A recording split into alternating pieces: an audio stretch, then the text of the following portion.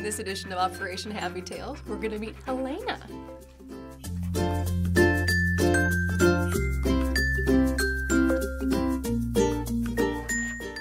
Right, Holly, tell us about Helena. Well, this beautiful girl is Helena, and she's a year old, and she's listed as a lab mix, but I would guess there's probably some pit bull in her based on her size and muscular status. But as you can see, she's as sweet as can be. Yeah. She's been with us at TAPS for a little while because she came in heartworm positive, but she's gone through her heartworm treatment, and now she is looking for a home of her own. Clearly, super sweet. Very sweet. super duper sweet, and she is actually full grown, isn't she? She is full grown, so she won't get any bigger than this. And I would just ask anybody who's interested to give her a chance outside of the kennel because she's a little high strung in her kennel. But as you can see, she's full of love here once she's out of the kennel area.